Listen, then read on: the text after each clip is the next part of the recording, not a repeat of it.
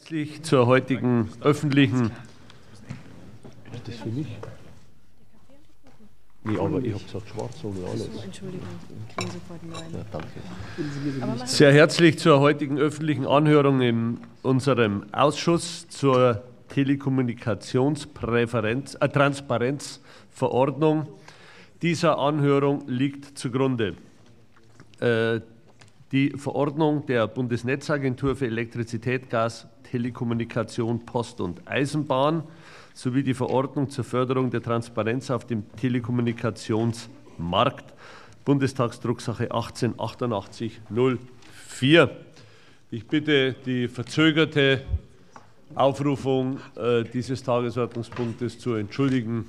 Es hatte technische Gründe und äh, wir wollten die ordentliche Sitzung einfach noch zu Ende bringen. Ich begrüße Sie, die Sachverständigen, sehr herzlich, ebenso die Kolleginnen und Kollegen aus unserem sowie anderer Ausschüsse für die Bundesregierung, Frau Parlamentarische Staatssekretärin Zypris und weitere Gäste, auch die Zuhörer, die sich über das Parlamentsfernsehen und über das Internet zugeschaltet haben.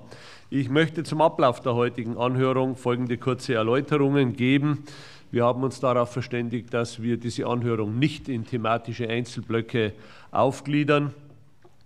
Die Befragung wird grundsätzlich unter Berücksichtigung des Stärkeverhältnisses der Fraktionen durchgeführt. In diesem Fall haben wir uns darauf verständigt, dass um die Opposition stärker zur Geltung kommen zu lassen, wir für beide Fragerunden die Schlüssel 2211 festgelegt haben. Um diese zwei kompletten Fragerunden in der uns zur Verfügung stehenden Zeit von ja, bis 13 äh, Uhr durchführen zu können, äh, bitte ich darum, dass äh, sich die Fragen Abgeordneten sowie die Sachverständigen möglichst kurz fassen. Dazu für Sie, die Sachverständigen, für jene vor allen Dingen, die das erste Mal bei so etwas in diesem Ausschuss dabei sind. Pro Frage und Antwort ist ein Gesamtbruttozeitraum fixiert von fünf Minuten. Äh, das heißt, Frage plus Antwort fünf Minuten. Was bedeutet das? Je kürzer eine Frage ist, eine umso längere Komplementärzeit zur Antwort äh, verfügbar ist und natürlich auch umgekehrt. Ähm, meine Bitte zur Erinnerung an die Fragen Kolleginnen und Kollegen, immer präzise den Namen des oder der Befragten nennen.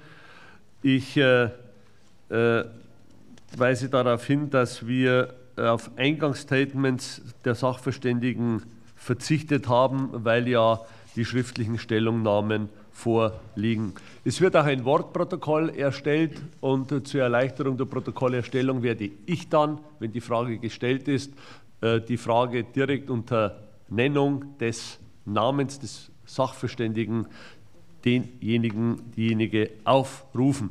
Ich beginne jetzt mit der Befragung in der ersten Runde. Es beginnt der Kollege Hans-Jörg Dort. Was ist mir? Der Kollege Dortz, bitteschön. Danke, Herr Vorsitzender.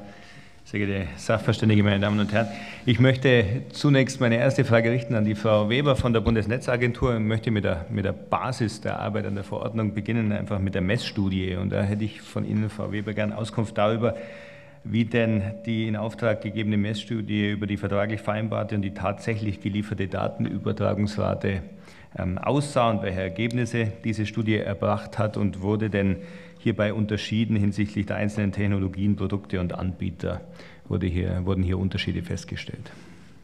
Frau Weber.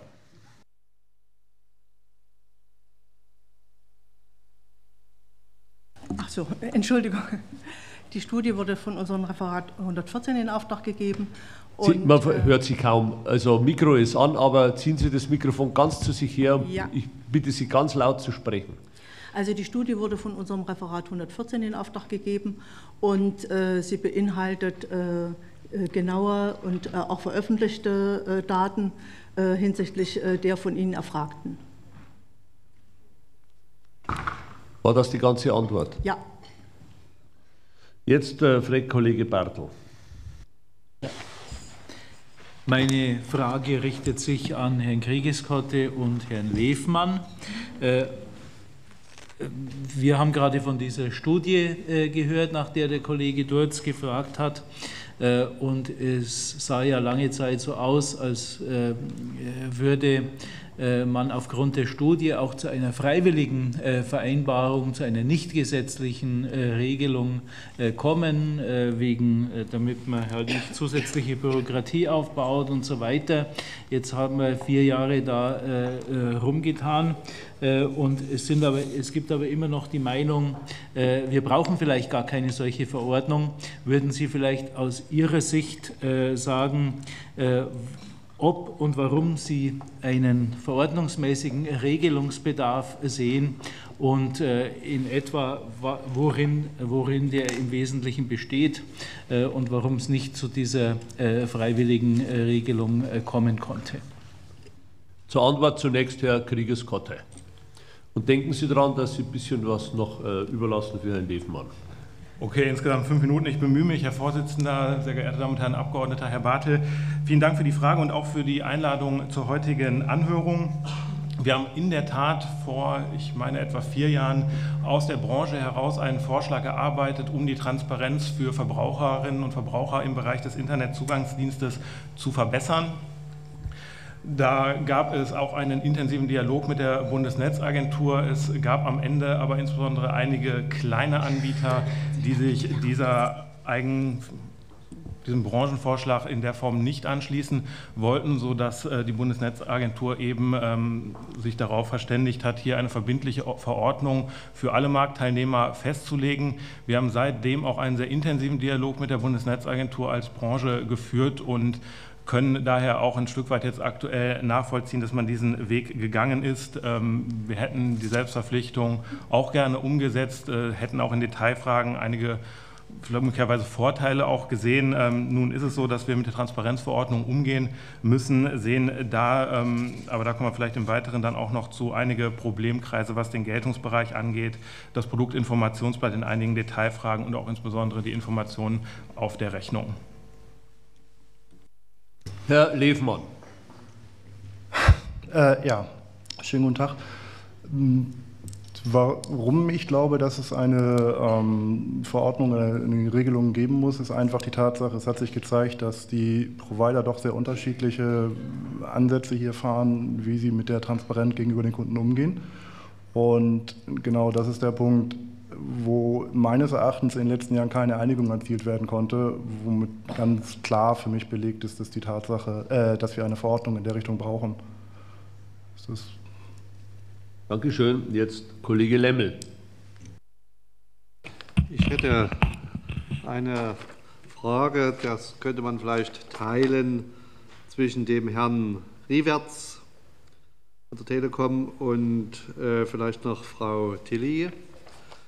Äh, es geht ja jetzt in der Transparenzverordnung auch darum, wer wird praktisch in diese Transparenzverordnung oder welche Verträge werden in der Transparenzverordnung erfasst. Und meine Frage ist, ähm, weil es, in, weil es im Vorfeld dazu einige Diskussionen gab, äh, was ist Ihre Meinung, sollen hier äh, in dieser Verordnung nur privatrechtliche Verträge, also mit Privatkunden erfasst werden oder auch ähm, Geschäftskunden? Und wenn, man, wenn Sie sagen, Geschäftskunden sollten nicht mit erfasst werden, dann müssten Sie mir bitte noch mal erklären, wie sich das wirklich abgrenzen lässt.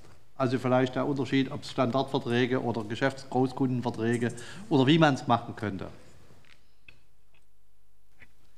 Ja, Dankeschön. Kurz, Die äh, Frage ging an, an Herrn, Herrn Riewerts und Frau Tilly, glaube ich. Ne? Dann, Bitte schön. Äh, antworten wir hintereinander. Ähm, Kurz zu der Frage, welche Verträge betroffen sind. Die tangiert auch noch das Thema, ähm, sind einfache Sprachanschlüsse tangiert oder eben nur in, ähm, Internetzugangsanschlüsse. Da ist aber, glaube ich, auch das, die einhellige Meinung, dass betroffen sind nur ähm, Produkte oder Komplettpakete, die als solche auch als Internetzugangsanschlüsse äh, gegenüber Verbrauchern vermarktet werden. Ähm, hinsichtlich der Frage Privatkunden, Geschäftskunden gibt es, glaube ich, eine grundsätzliche unterschiedliche Informationsbasis, weil beispielsweise bei Geschäftskunden häufig kundenindividuelle Verträge ja auf Basis von Verhandlungen laufen und insofern äh, bei Geschäftskunden in der Regel nochmal ein, ein höheres Informationsniveau über die über den Leistungsumfang von äh, Paketen und eben auch die Kondition vorhanden ist, so, sodass äh, die Deutsche Telekom der Meinung ist, dass äh, wenigstens solche Geschäftskundenverträge ausgenommen werden sollten. Ähm, allgemeine AGB-Produkte, die beispielsweise natürlich auch an einen Rechtsanwalt oder Zahnarzt äh, gerichtet sind, die werden natürlich aus unserer Sicht dann sinnvollerweise vielleicht auch mit umfasst. Ergänzend äh, Frau Dr. Tilly. Ja, da kann ich mich ähm, genau dem anschließen. Das ist auch die Sicht der Mitglieder im VATM, dass man doch den Geschäftskunden ausgrenzen sollte, weil er ein anderes Informationsbedürfnis hat. Das wird auch anders gedeckt. Da bestehen bilaterale Verhältnisse, die haben einzelne Ansprechpartner und da macht es wenig Sinn, mit dem Toolset ähm, der Transparenzverordnung jetzt auch die Geschäftskunden zu adressieren. Und man kann sich am Begriff des Verbrauchers, könnte man sich unserer Meinung nach orientieren. Der ist ja im BGB geregelt. Dankeschön. Jetzt Kollege Westphal. Vielen Dank, Herr Vorsitzender. Ich habe eine Frage an Frau Elbrecht. Im sogenannten Produktinformationsdatenblatt ist ja eine verpflichtende Angabe über die Kapazitäten Down- und Uploads. Und äh, sehen Sie diese Kriterien, die dort formuliert worden sind, als ausreichend? Muss man die konkretisieren? Sind die verbraucherfreundlich? Und was halten Sie davon bei Nichterfüllung von einem Sonderkündigungsrecht für den Kunden? Die Frage ging an, ging an Frau Elbrecht. Vielen Dank für die Frage. Ähm, wir halten diese, also wir sind auf jeden Fall der Auffassung, dass diese Angaben in irgendeiner Form konkretisiert werden müssen, weil wir schon sehen, dass Anbieter möglicherweise ihre eigenen ähm, Vorgaben, was die Minimal- und Maximalübertragungsraten ähm, angehen könnte, sich machen. Also hier müsste wirklich ein, müssen Standardwerte eben herhalten. Was Geben Sie mir bitte den zweiten Teil der Frage nochmal. Achso, zum ja, also die Transparenzverordnung ist aus Verbrauchersicht schon auf jeden Fall ein Mehr als, äh, als zum gegenwärtigen Zeitpunkt. Es ermöglicht eben äh, Verbrauchern Angebote besser zu vergleichen, auch während des laufenden Vertrages eben den, ähm, die ähm, vertragsgemäßen ähm, Leistungen auch zu überprüfen.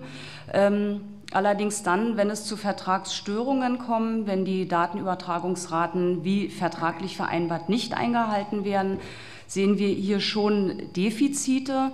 Ähm, hier werden die Verbraucher so ein bisschen im Regen stehen gelassen, weil was nützen die ganzen guten, transparenten Informationen in der Verordnung, wenn Verbraucher unterm Strich nicht die Möglichkeit haben, ähm, im Falle von Leistungsstörungen auch entsprechende Rechte geltend zu machen.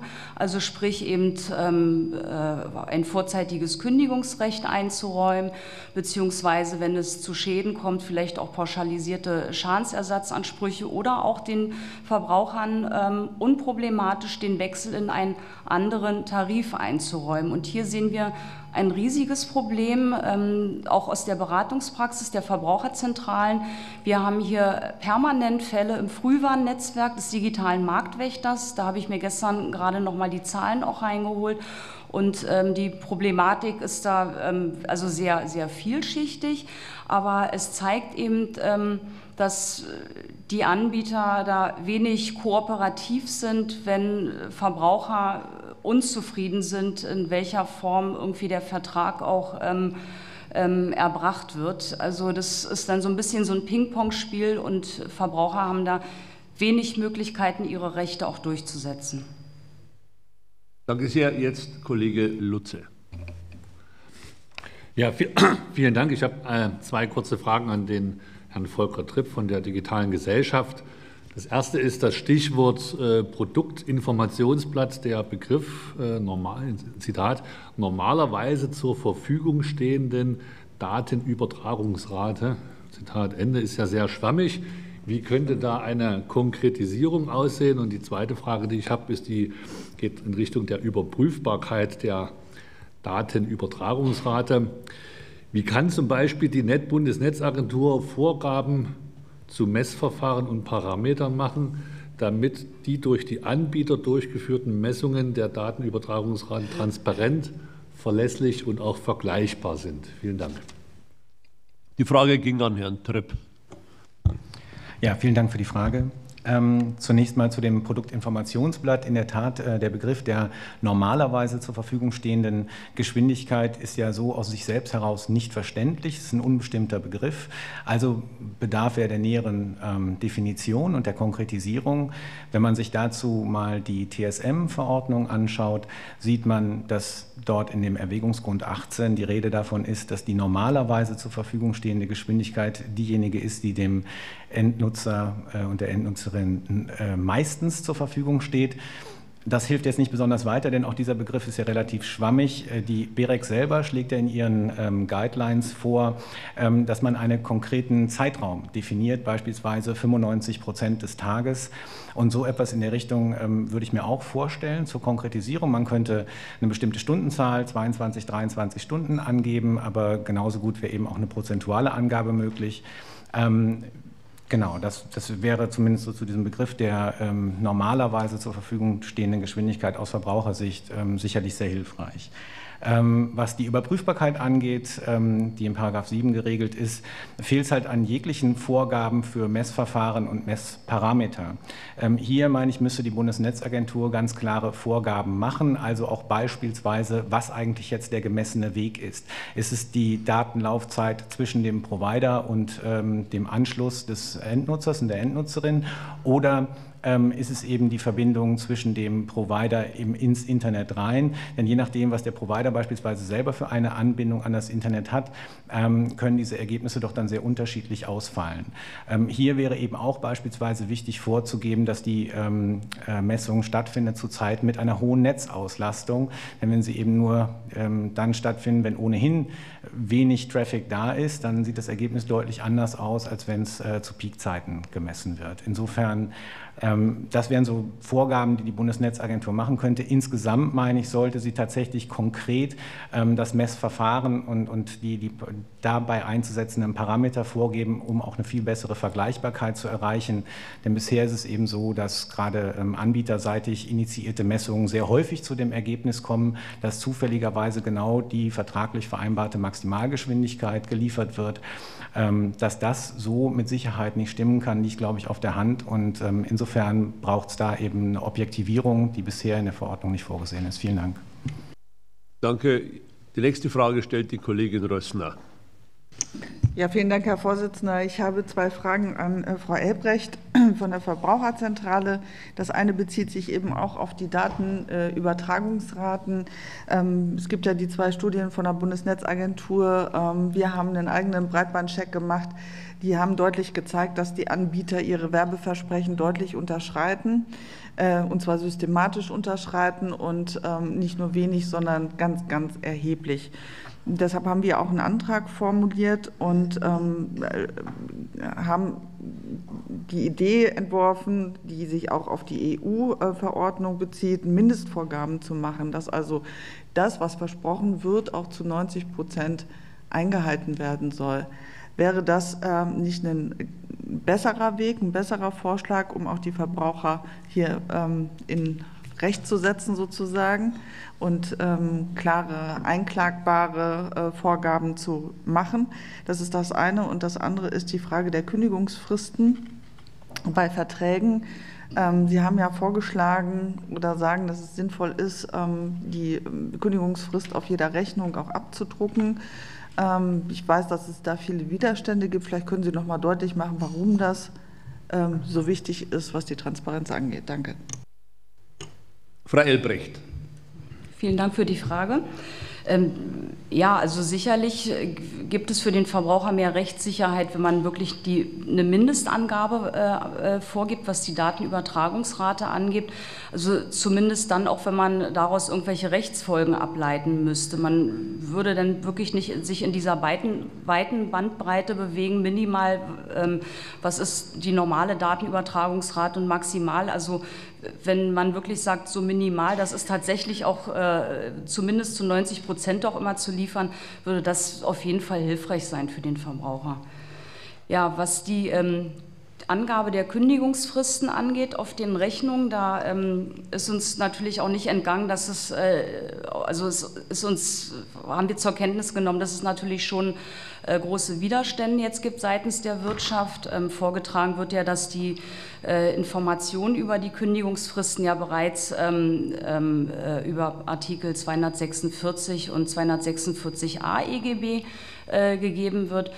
Das ist richtig, aber es handelt sich hierbei um eine vorvertragliche Informationspflicht. Also ich erhalte wirklich, bevor ich den Vertrag abschließe, diese Informationen, wann und zu welchen Konditionen ich halt den Vertrag kündigen muss. Und das nützt dem Verbraucher wenig, wenn er vielleicht schon fünf, sechs Jahre in einem Vertrag drinsteckt. Ähm, ähm, das äh, hat er dann unter Umständen nicht präsent. Mitunter kann es natürlich auch sein, dass ihm die äh, ursprünglichen Vertragsunterlagen überhaupt nicht mehr zur Verfügung stehen, beziehungsweise so, wie er ähm, vor Jahren den Vertrag abgeschlossen hat, dass, dass er sich schon mehrfach modifiziert hat durch irgendwelche Zusatzmodule, die dazu gebucht wurden. Dadurch können sich auch Vertragslaufzeiten eben ändern. Ähm, aber unabhängig davon geht die Wirtschaft ja auch davon aus, dass äh, gerade Bestandskunden äh, mitunter auch nicht mehr über die Vertragsunterlagen verfügen. So ist es zumindest aus der ersten Verbändestellungnahme ähm, vom Juli diesen Jahres zu entnehmen. Also da hat selbst die Wirtschaft gesagt, dass Bestandskunden mitunter die Unterlagen ja auch nicht mehr vorliegen können. Und ähm, ja, äh, Genau, dann wurde ja noch vorgetragen, ähm, dass, dass das Abbilden äh, konkreter Kündigungsfristen daran scheitern könnte, dass sie natürlich sehr individual äh, gehalten sind, also durch Feiertage oder eben, äh, dann sind vielleicht Wochenenden. Bloß hier könnte man halt auch mit, mit Sternchenhinweisen arbeiten, was ja Unternehmen auch gerne machen, dass man sagt, fällt der Kündigungszeitpunkt eben auf ein, auf ein Wochenende oder auf einen Feiertag, ist eben der nächste Werktag. Also das ist ja auch über AGBs im Grunde genommen so üblich. Also auch ähm, das äh, könnte man in den Griff bekommen. Also unser Eindruck ist schon, ähm, diese starke Gegenwehr jetzt die, äh, gegen die Aufnahme der Kündigungsfristen in, in, in, der Rechnung hat aus unserer Sicht eher den, den Hintergrund, ähm, hier die, den Anbieterwechsel für den Kunden zu erschweren, wenn nicht sogar eher unmöglich zu machen. Und das wiederum, ich schließe noch mal den Kreis, wie ich es eingangs auch sagte, das bestätigt sich eben auch über die Beschwerden aus unserem Frühwarnnetzwerk in dem digitalen Marktwächter, dass den Verbrauchern wirklich permanent Steine in den Weg gelegt werden, ähm, wenn sie den Wunsch haben, äh, den, den Anbieter zu wechseln. Und ich, wir nehmen schon an, dass es der Hintergrund ist, dass das jetzt vorgeschoben ist. Ähm, aber letztlich die Daten sind ja vorhanden bei den Unternehmen und das kann doch jetzt hier nicht so schwierig sein, solch ein Datum auch einfach abzubilden auf einer Rechnung. Dankeschön. Wir treten ein in die zweite Befragungsrunde. Hierzu gebe ich das Wort an den Kollegen Dorz. Ja, vielen Dank, Herr Vorsitzender. Ich hätte zwei Fragen an Frau Dr. Tilly. Zum einen, wie reagieren Sie denn auf diese Vorgabe von Mindestqualitäten? Wie sehen Sie äh, diesen Aspekt. Und zum Zweiten zum Produktinformationsblatt. Hier soll es einen Dialogprozess mit der Bundesnetzagentur geben, wie man es möglichst marktkonform denn umsetzen kann. Wo stehen Sie in diesem Dialogprozess und wie äh, sehen Sie diese möglichst marktkonforme Umsetzung? Frau Dr. Tilly.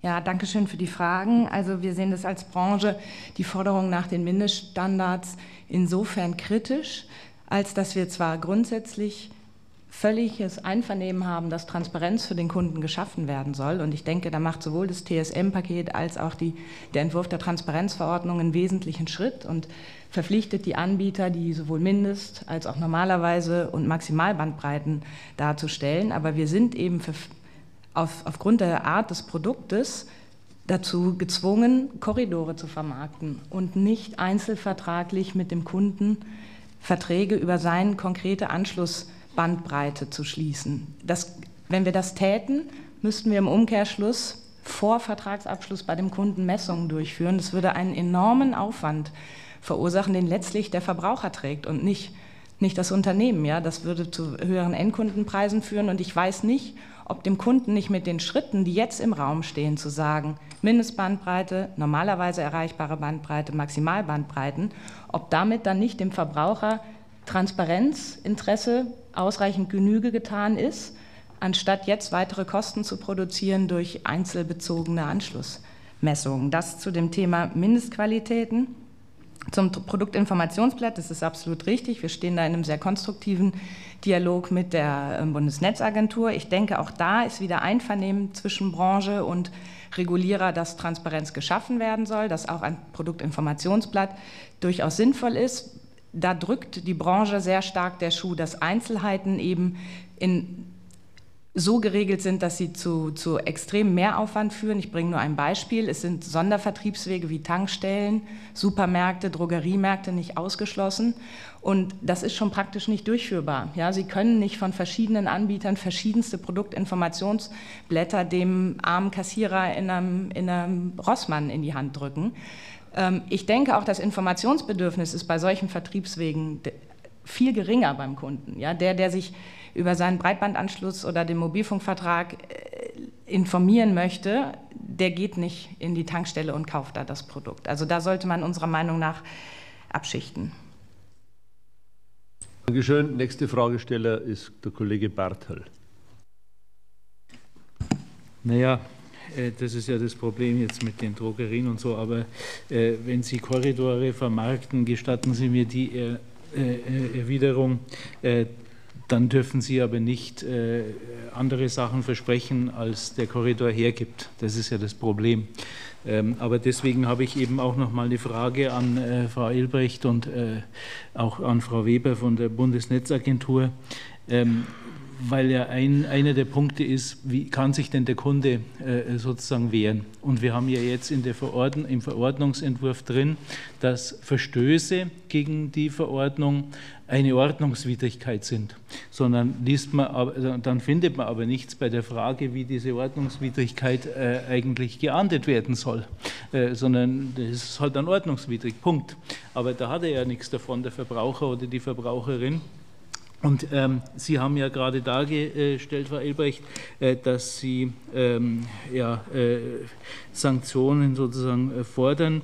Äh, wäre Ihrer Meinung nach da ein Sonderkündigungsrecht oder, ein, oder das Bußgeld äh, der, äh, der bessere Weg? Und an Frau Weber dann in der Folge die Frage, Sie sagen ja, äh, dass die Rechtslage eben solche Sanktionsmöglichkeiten nicht hergibt. Es gibt keine Ermächtigungsgrundlage. Äh, deswegen die Frage, was müsste denn aus Ihrer beiden Sicht passieren als Rechtsgrundlage, damit man dem Kunden hier äh, mehr Instrumente in die Hand geben kann? Zunächst Frau Elbrecht. Ja, vielen Dank für die Frage. Ähm, ja, auf jeden Fall ähm, fordern wir ein Sonderkündigungsrecht für die Kunden, wenn eben nicht ordnungsgemäß geleistet wird. Eigentlich hat er es ja. Also wenn, wenn, ein, ein, äh, wenn nicht ordnungsgemäß erfüllt wird, ähm, dann hat man eben unter bestimmten Voraussetzungen ein Sonderkündigungsrecht. Für, für den Verbraucher ist es das Problem, er hat wenig in der Hand, sich letztlich darauf zu berufen. Deshalb fordern wir auch, wenn ein Verbraucher eben zum Beispiel ähm, einen, den Speedtest jetzt über dieses Messtool der Bundesnetzagentur eben ähm, betätigt und da klar Abweichungen jetzt ähm, im Hinblick auf die Datenübertragungsrate äh, zutage treten, dass das als Beweis des ersten Anscheins gilt gegenüber dem Anbieter. Also der muss sich das entgegenhalten lassen. Das ist ein Ergebnis und er müsste dann vortragen, nein, ich leiste aber doch ordnungsgemäß. Und so ist die Rechtslage im Moment nicht. Und deshalb fordern wir eben in dem Zusammenhang auf jeden Fall auch noch ähm, Klarstellung. Dankeschön. Jetzt ergänzend Frau Weber. Äh, das kann der Verbraucher, da bin ich äh, Ihrer Meinung, wenn über länger, längeren Zeitraum eine Mindestleistung anliegt, das wäre ja da der Fall, äh, dann kann er äh, jeglichen zivilrechtlichen Weg bestreiten. Das kann er jetzt. Ja, das ist völlig äh, äh, außer Frage, das haben Sie ja auch schon ausgeführt. Aber ich kann in der Transparenzverordnung, die vom Grunde her ja ähm, eine Auswahl des, des Kunden äh, erleichtern soll zwischen Produkten, kann ich nicht äh, diese äh, von Ihnen geforderte Norm jetzt unterbringen. Deshalb auch die Frage, also da fehlt, fehlt es mir äh, an äh, der Berechtigungsgrundlage. Äh, Im TKG. Rechtsgrundlage bräuchten wir dafür. Im TKG könnte man zum Beispiel. Gut, danke. Jetzt fragt Kollege Lemmel. Ja, ich hätte noch mal eine Frage an den Herrn ähm, Riewerts und an Frau Elbrecht. Es geht nochmal um die Frage der Vermerke auf den Rechnungen über die Vertragslaufzeiten. Äh, wir sind ja nun im modernen Zeitalter. Rechnungen werden ja auch oftmals gar nicht mehr als Papier zugestellt, sondern sie werden ja oftmals auch über, über, über, äh, elektronisch gestellt. Und wäre es nicht eigentlich aus Ihrer Sicht auch ausreichend, wenn man auf der Rechnung äh, sozusagen den Verweis druckt auf ein Internetportal, bei dem, in dem dann jeder Kunde seine Vertragsdaten, seine Rechnungen und sowas finden kann. Wäre damit nicht eigentlich dieser Sache auch Genüge getan? Zunächst Herr Rieberts.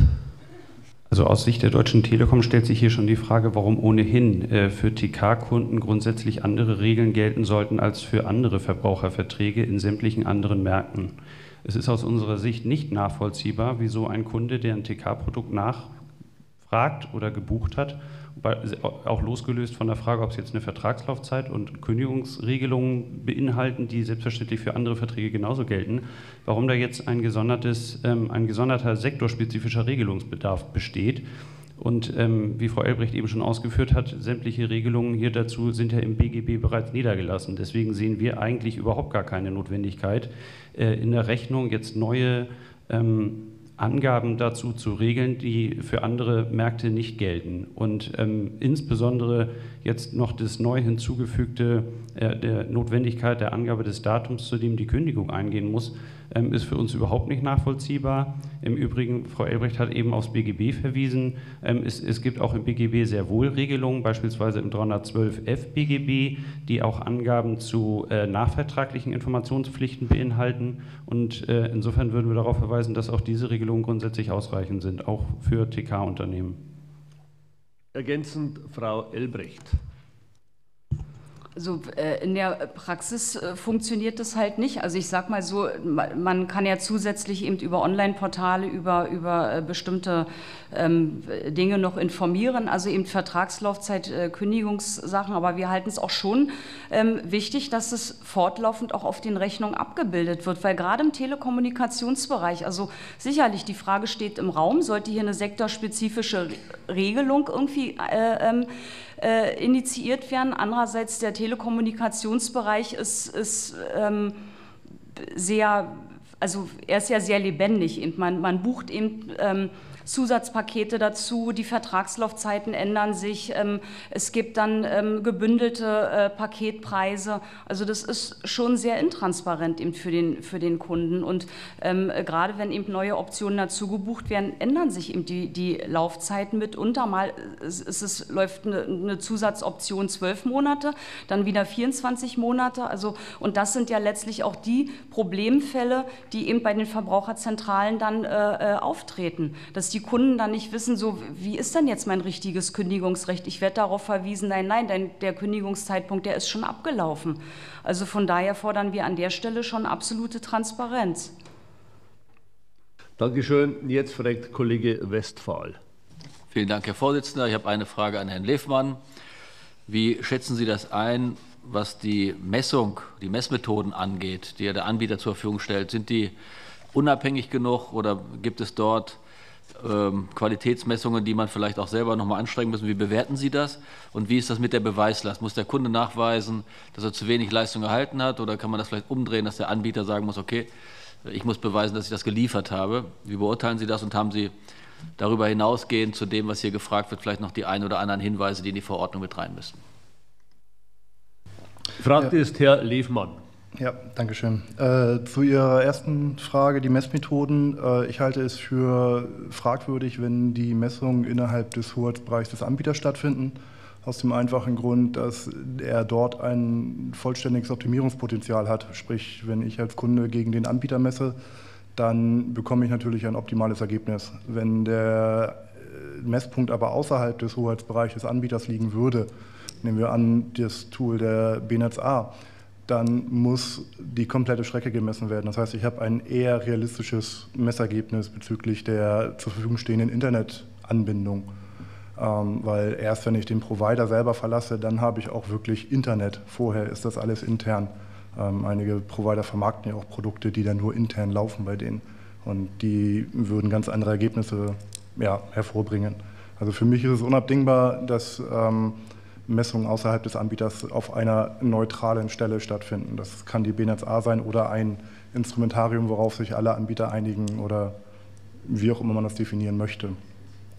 Die zweite Frage, Thema Beweislastumkehr, ist tatsächlich etwas, wo ich denke, ähm, dass ich da die schon vorgetragene Meinung teile, dass der, ich nenne es mal, der, der erste Verdacht, dass eine Minderleistung erbracht wird, sollte durch die Messung, die der Kunde initiiert hat, ähm, vielleicht auch von mir aus eine über einen bestimmten Zeitraum definierte ähm, Messanzahl äh, sollte ausreichend sein, um den Provider zumindest in die Situation zu bringen, sich mit diesem Thema ernsthaft auseinanderzusetzen, auch wenn es ein einzelner Kunde ist.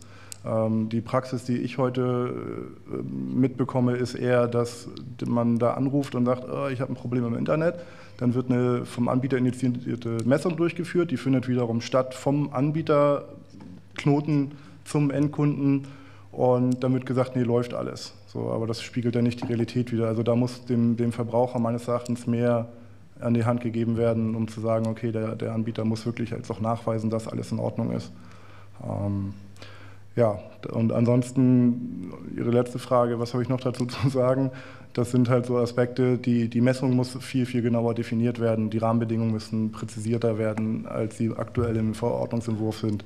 Ähm, da gehen wir jetzt in technische Bereiche rein wo das Thema Paketgrößen einen nicht unerheblichen Einfluss hat auf die, die Laufzeiten, die dort angegeben werden sollen. Das heißt, wenn ich nicht definiere, wie groß das Paket ist, mit dem gemessen wird, kann ich nicht, habe ich keine Aussagekraft in der Paketlaufzeit, die aber dem Kunden als transparent und als Vergleichsmöglichkeit angegeben werden soll. Also generell anbieterunabhängige Messung definiertere Rahmenbedingungen und dazu auch noch im, für den Verbraucher nützlich wäre eine definierte Angabe der, der Einheit, in der ich etwas ähm, publiziere. Das heißt, wenn ein Anbieter gibt irgendwas in Größeneinheit A an, der andere gibt das in Größeneinheit B an. Das ist etwas, damit kann der Verbraucher nichts anfangen. Also ich vermute, dass der Großteil der Verbraucher eine Umrechnung von Kilobit in Megabit nicht ähm, aus dem Stand kann. Das heißt, wenn ich da Anbieter A sagt Kilobit, Anbieter B sagt Megabit, ich als Verbraucher weiß nicht, was gemeint ist. Danke. Dankeschön. Die nächste Frage wird gestellt vom Kollegen Lutze. Ja, vielen Dank. Ich habe noch mal zwei Fragen an den Herrn Tripp von der digitalen Gesellschaft. Das eine ist ein bisschen, glaube ich, ein Problem, was noch gar nicht so hier besprochen wurde. Es gibt ja die angestrebten Regeln für mehr Transparenz gelten ja nur für die Internetzugangsdienste. Laut der EU-Richtlinie für einen einheitlichen Telekommunikationsmarkt dürfen Telekommunikationsunternehmen jedoch auch für sogenannte Spezialdienste Angebote machen. Welche Problematik besteht hier und sollte die Transparenzordnung nicht auch für diese sogenannten Spezialdienste gelten? Und dann aus der Diskussion heraus noch eine, noch eine zweite Frage. Es ist vorhin gerade gesagt, naja, bei Drogeriemärkten, Supermärkten und so weiter, äh, da kann man dann bestimmte Sachen eben nicht gelten lassen. Das klang für mich ein bisschen so, dann gibt es dort halt eben keine Beratung, weil die Verkäuferin oder der Verkäufer, der dort an der Kasse steht, nicht beraten werden kann. Meine Auffassung ist, vielleicht teilen Sie die, ich keine Ahnung, äh, wie Sie das sehen, das würde mich interessieren, wenn ich äh, ein Produkt verkaufe, für dem ich keine Beratung abgeben kann, dann habe ich eher den Anspruch, dann kann ich das Produkt nicht verkaufen. Also ich kann auch nicht irgendwo äh, eine Waschmaschine verkaufen und weiß nicht, wie die anzuschalten geht. Also dafür haben wir ja auch einen Fachhandel. und jetzt Internet nochmal ausgenommen, da kann man sich auch anders informieren. Aber ich sage mal so, an der Stelle fand ich die Diskussion vorhin schon ein bisschen fragwürdig. So, die Frage ging an Herrn Tripp. Ja, vielen Dank. Ähm, zunächst zu den Spezialdiensten. In der Tat, ähm, die Transparenzverordnung bezieht sich bislang ausschließlich auf Internetzugangsdienste. Daneben erlaubt aber ja gerade die Telekom Single Market Verordnung ähm, auch das Angebot von Spezialdiensten. Ähm, aus meiner Sicht ist nicht verständlich, dass die Spezialdienste in der Transparenzverordnung äh, komplett ausgeklammert sind. Ähm, zum einen ist es ja so, dass wenn Spezialdienste über dieselbe Infrastruktur angeboten werden wie Internetzugangsdienste, besteht die ganz realistische Möglichkeit, dass die Qualität der Internetzugangsdienste darunter leidet leidet. Ähm, das lässt sich auch bereits daran ablesen, dass eben eine entsprechende ähm, Regelung genau zu dieser Problematik sich auch in der Telekom Single Market Verordnung findet. Ähm, Das bedeutet eben, zum einen haben diejenigen Kundinnen und Kunden, die Internetzugangsdienste in Anspruch nehmen, durchaus ein berechtigtes Interesse daran zu erfahren, ob der Anbieter, bei dem sie ihren Zugangsdienst buchen, parallel auch Spezialdienste anbietet und wie diese Spezialdienste sich gegebenenfalls auf äh, Verfügbarkeit und Qualität des Internetzugangsdienstes auswirken.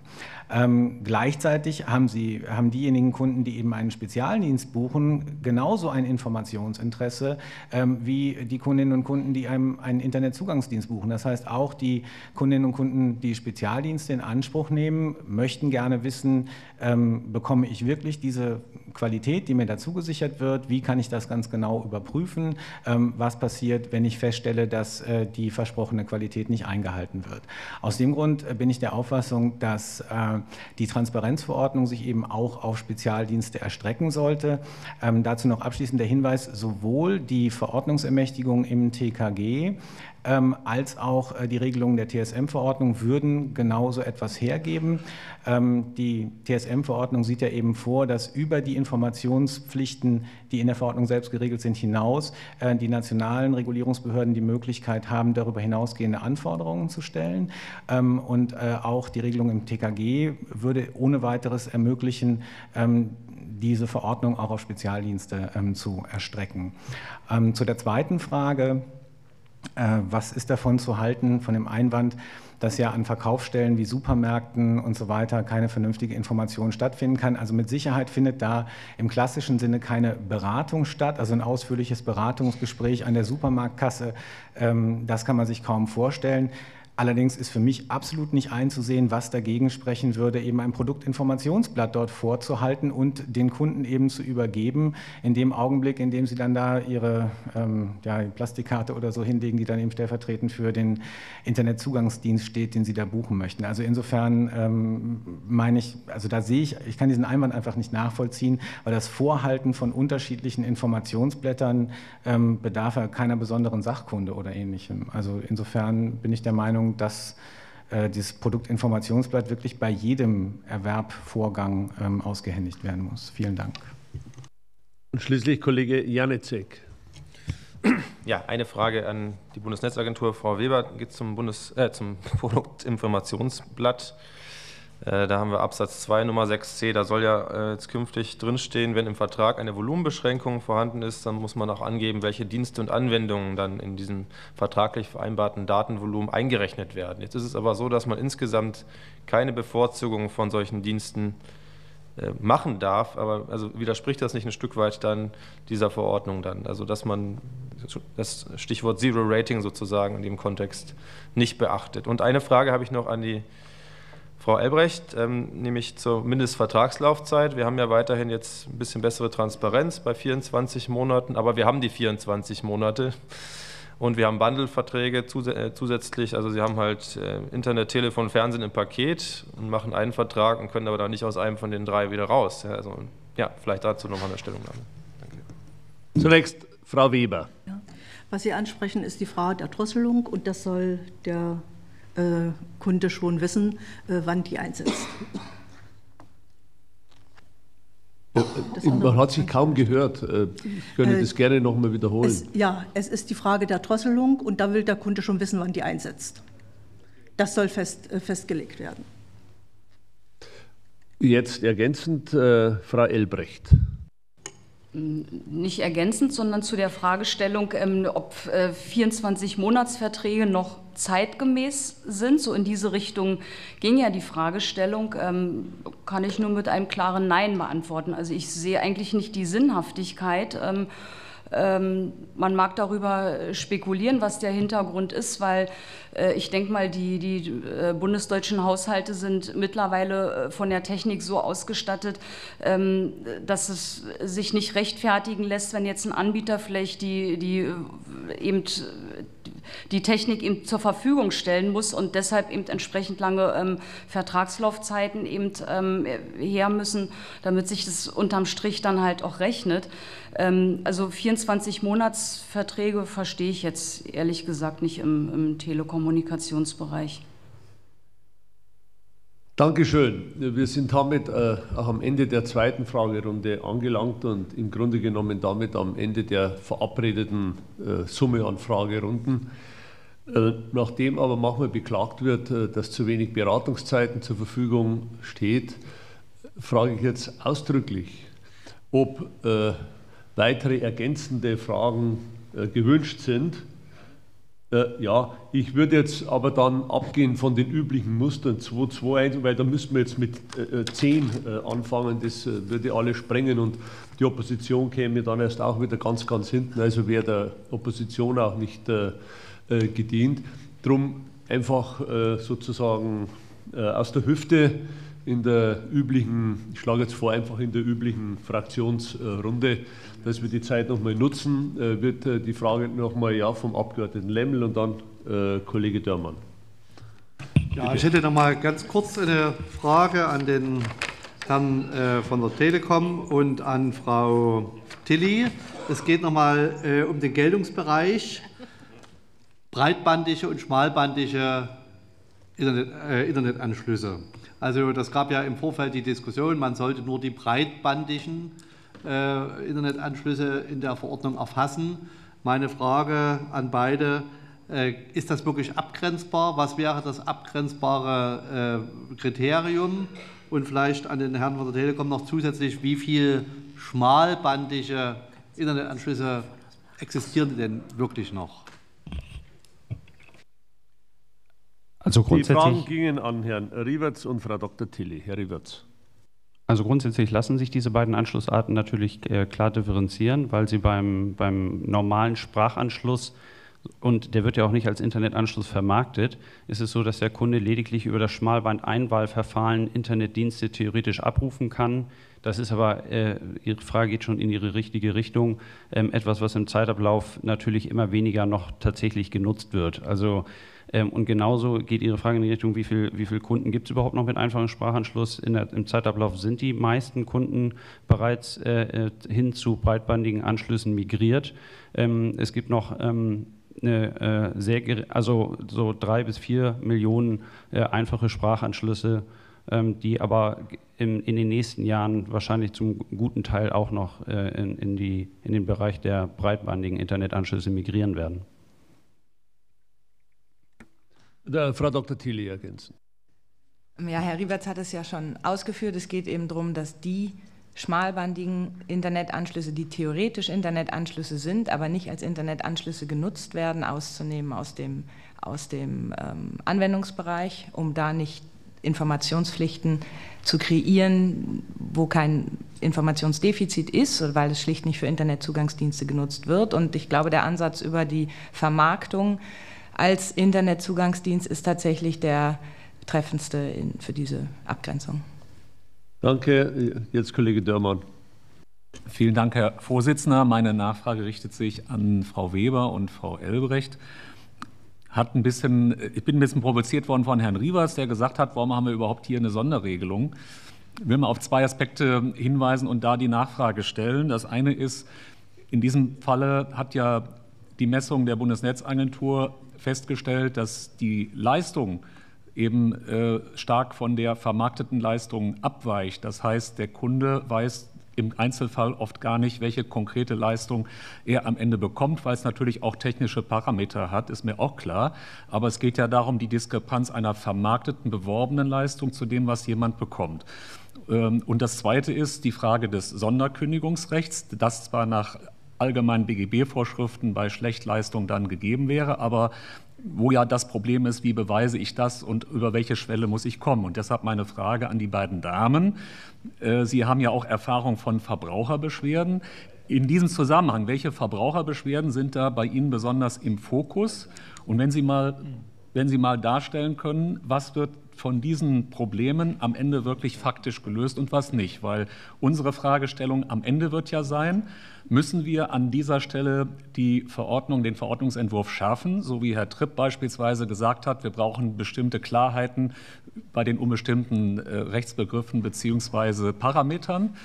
Oder müssen wir vielleicht auch, was zum Beispiel Sanktionen angeht, das TKG nochmal anpacken, weil das hier in der Verordnung gar nicht geregelt wird? Also das ist für mich auch der Sinn dieser Anhörung, diese beiden Punkte mal herauszuarbeiten und wenn Sie das vielleicht aus Ihrer Sicht nochmal präzise auf einen Punkt bringen könnten. Zunächst Frau Weber. Wir haben ja diese äh, Messungen äh, deshalb durchgeführt, um erstmal überhaupt einen Stand zu haben, wie ist äh, die reale Wirklichkeit. Und aufgrund dieser Messungen und der erzielten Ergebnisse ist ja die Transparenzverordnung in Angriff genommen worden.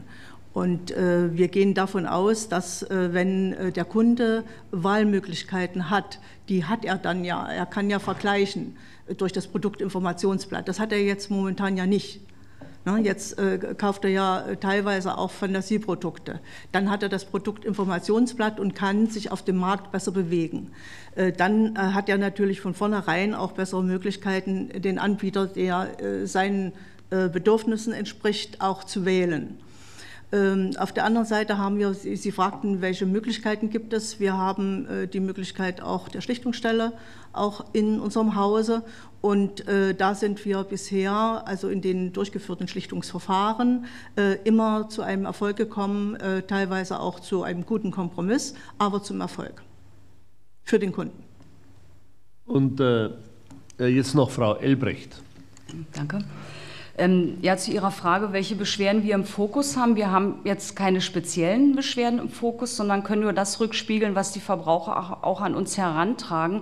Und das sind eben wechselwillige Kunden welche, welche, mit welcher Motivation sie den Anbieter jetzt wechseln möchten. Das können wir jetzt natürlich so nicht, nicht, also da fragen wir halt auch nicht nach. Wir können wirklich nur letztlich abbilden, dass es eben Probleme gibt, den Anbieter zu wechseln, dass es zu diesem berühmt-berüchtigten Ping-Pong-Spiel kommt. Aber ähm, so, wenn man jetzt auch Recherchen anstellt, man, es gibt diverse Foren, die sich eben, in denen sich eben Verbraucher auch darüber beschweren, dass sie eben mit den Datenübertragungsraten eben nicht äh, zufrieden sind und sich da so ein bisschen machtlos ausgeliefert fühlen, auch gegenüber den, den Anbietern, dass äh, Verbraucher dann eben vertröstet werden, eben abgestritten wird seitens der Unternehmen, dass die Datenübertragungsraten eben natürlich sehr individuell sind von sehr speziellen Faktoren eben möglicherweise auch äh, beeinflusst werden. Aber letztlich ist es für den Verbraucher einfach schwierig, da auch sein Recht durchzusetzen gegenüber seinem Vertragspartner. Und deshalb denken wir schon, es ist wichtig, wenn man eben ein objektives Messtool hat, eben, wie bei der Bundesnetzagentur und dort wirklich auch ähm, richtige Belege hat. Hier so viel Datenübertragungsrate wird nur geliefert. Das ist nicht mehr vertragsgemäß. Dann muss, muss es eine ganz klare Rechtsfolge geben. Kündigung, Sonderkündigungsrecht, ähm, vielleicht ein Anspruch auf einen anderen Tarif. Auf jeden Fall ähm, muss dem Verbraucher irgendwas an die Hand gegeben werden, damit er letztlich auch seine Rechte durchsetzen kann. Danke. Dankeschön. Jetzt Frau Kollege Lutze. Ja, eine Frage hätte ich an Frau Dr. Tilly und an Herrn Tripp. Wir hatten gerade auch kurz diese, dieses klassische Kündigungsrecht mit dem Stichwort 12, äh, 24 Monate gehabt. Jetzt kommt ja die 24 Monate nicht unbedingt, weil die Telekommunikationsunternehmen da irgendwen gängeln oder drängeln wollen, sondern weil schlichtweg äh, hochwertige Geräte mitverkauft äh, werden, ob das nun das äh, Mobiltelefon ist oder ein Modem oder eine ganze Telefonanlage und so weiter und so fort. Und das rechnet sich natürlich nur über den Zeitraum, dass man eine gewisse Mindestvertragslaufzeit hat, sprich eine Kündigungseinschränkung von 24 Monaten. In der Verkehrspolitik haben wir vor einigen Jahren mal Netz und Betrieb voneinander getrennt. Da gab es auch viel Diskussion pro und contra darum. Aber was spräche denn dagegen, genau darauf zu achten, dass sowas künftig solche gekoppelten Geschäfte vielleicht künftig eben nicht mehr möglich sind, dass der Gesetzgeber quasi dort einschreitet und sagt, äh, Kündigungsfrist nach unten und wenn jemand nebenbei noch was verkaufen will, kann er das gerne tun, aber das dürfte nicht Bestandteil dieser Telekommunikationsverträge sein. Äh, Frau Dr. Tilly. Ja, ich bin mir nicht sicher, ob ich die Frage ähm, richtig verstanden habe. Also zu dem Kündigungsrecht nochmal möchte ich gerne nochmal darauf hinweisen, also natürlich gibt es das nach dem BGB und auch in dem TSM-Paket ist ja klar geregelt, dass bei Nichterfüllung der Kunde, dem die Ansprüche zustehen. Ja, also da sehe ich eigentlich jetzt, und dies unmittelbar geltendes Recht, also ich sehe da gar keinen keinen Bedarf ähm, bei der Transparenzverordnung, das jetzt Thema aufzugreifen. Genauso ist geregelt da ja auch, dass das Tool, das zertifizierte Tool, ähm, diesen Anschein erweckt. Also auch da gehen wir, glaube ich, verstehe ich nicht ganz, warum die Diskussion sich an dieser Stelle darum dreht. Ähm, bei den 24 Monaten, was das mit der sicherlich immer denkbaren Forderung von Trennung von ähm, Netz ähm, und Vertrieb, was, da, was das mit den 24 Monaten insofern zu tun hat, sehe ich nicht ganz, weil wir verkaufen ja nicht das Netz, sondern zum Beispiel Mobilfunkendgeräte sind subventioniert und erfordern es eben, dass man dann für 24 Monate den Vertrag abschließt. Nichtsdestotrotz hat der Kunde ja auch die Möglichkeit, ohne subventioniertes Gerät einen Vertrag mit kürzerer Laufzeit abzuschließen. Ergänzend, Herr Tripp. Ähm, ja, ich sehe gerade äh, angesichts der Tatsache, dass die Transparenzverordnung ja ähm, eine, eine, Information ähm, von Kundinnen und Kunden anstrebt und sie damit eigentlich in die Lage versetzt, ähm, verantwortungsvoll auch gegenüber dem Provider handeln zu können, ähm, eigentlich keine Notwendigkeit, ähm, dass man derartige Verträge verbietet. Ähm, ich meine, es sollte durchaus den Anbietern freistehen, ob sie ähm, solche subventionierten Geräte anbieten, dann eben in einer entsprechend längeren Vertragslaufzeit ähm, oder ob sie äh, auch voneinander getrennte Verträge anbieten möchten. Entscheidend ist eben aus meiner Sicht, dass dem Kunden, wenn es denn dann solche Verträge gibt, auch äh, entsprechende Informationen zukommen. Und da würde ich vielleicht gerne noch mal insbesondere zu den Regelungen ähm, der Kündigungsfrist äh, und der Angabe der Kündigungsfrist in der Rechnung sagen, dass ich auch die Argumente, die dafür vorgebracht wurden, für nicht besonders stichhaltig. Die Argumente dafür, äh, dass man das nicht machen könne. Ja. Es wurde ja beispielsweise äh, gesagt, dass also die Berechnung der Kündigungsfrist nach den 188 folgende BGB ja viel zu kompliziert sei, als dass man sie in der Rechnung angeben könne. Kurz darauf wird äh, dann aber darauf verwiesen, dass man das ja im Kundencenter erfragen könnte, beziehungsweise dass es ja auch Apps gäbe, die genau diese Leistung erbringen. Also dann kann es ja auch nicht so besonders schwer sein, diese Daten, wenn man sie ohnehin hat und offenbar auch automatisiert beispielsweise beispielsweise durch eine App berechnen kann, ähm, in der Rechnung anzugeben. Genauso meine ich, wäre es auch erforderlich, dass äh, man den Kunden auf der Rechnung mitteilt, wo genau sie diese Kündigung äh, denn hinschicken müssen. Das ist auch häufig ein Problem, dass Leute nicht ganz genau wissen, ähm, was denn jetzt die richtige Adresse ist, ähm, um äh, die Kündigung zu versenden. Also das heißt, in anderen Worten, ich finde, es kann solche Verträge ruhig geben. Es muss dann eben flankiert werden durch eine entsprechende Information der Verbraucherinnen und Verbraucher. Ja, danke schön. Weitere Wortmeldungen liegen mir jetzt nicht vor, sodass wir auch diese Ergänzungsrunde abschließen können. Ich möchte mich abschließend äh, bei Ihnen, den Sachverständigen, ganz herzlich für Ihr Hiersein und Ihre Antworten bedanken. Wir sind damit am Ende unserer Anhörung und ich kann deshalb diese Anhörung und Sitzung schließen. Vielen Dank.